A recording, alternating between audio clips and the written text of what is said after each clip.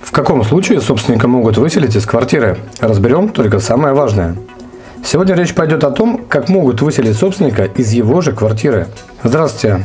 Вы на канале «Приоритеты» с юристом Евгением Корсакиным. Давайте к теме. Здесь нет, собственно, ничего удивительного. Собственника могут выселить, но действительно только в крайних случаях. А если вы законопослушный гражданин, то такое вряд ли произойдет с вами. Об этом и пойдет речь в этом видео. Итак, лишиться жилья владелец может при образовании большого долга и при возбуждении исполнительного производства на основании решения суда.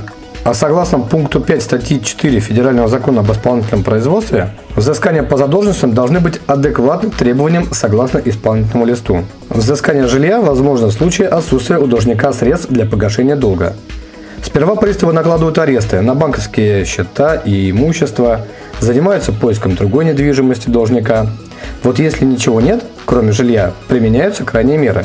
При этом единственное жилье отобрать не могут, хотя уже была судебная практика на уровне Конституционного суда. Но там вкратце фишка в том, что жилье было дорогим и можно было его реализовать через торги.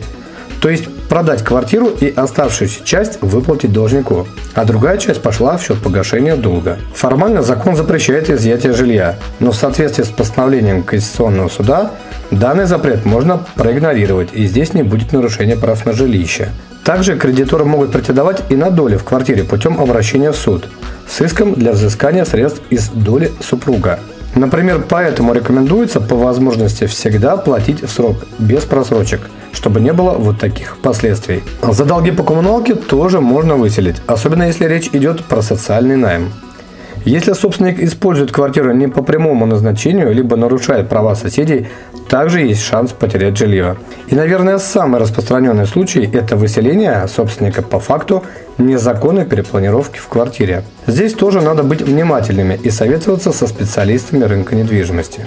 По реновации жилья тоже могут выселить, если дом попал в программу. В случае, если дом признан аварийным, происходит принудительное выселение и предоставление другого жилья.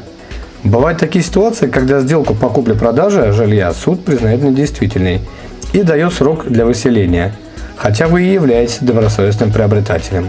Лишение жилья – момент неприятный, но вполне реальный по решению суда. То есть кредиторы не могут ничего изъять самостоятельно или наложить ограничения. Только суд может принять то или иное решение. Также будут учитываться и права самого должника. Ситуации разные бывают. На практике все-таки лишение жилья носит довольно радикальный характер. Но старайтесь не допускать такой ситуации. А пока не поздно, договаривайтесь и приходите к решению проблемы. Ну а если ничего не получается, суд расставит все точки по закону и справедливости. Если видео было полезно, поддержите лайком, подписывайтесь на канал, поделитесь своим мнением в комментариях, пересылайте видео знакомым. Я с вами прощаюсь, до новых встреч!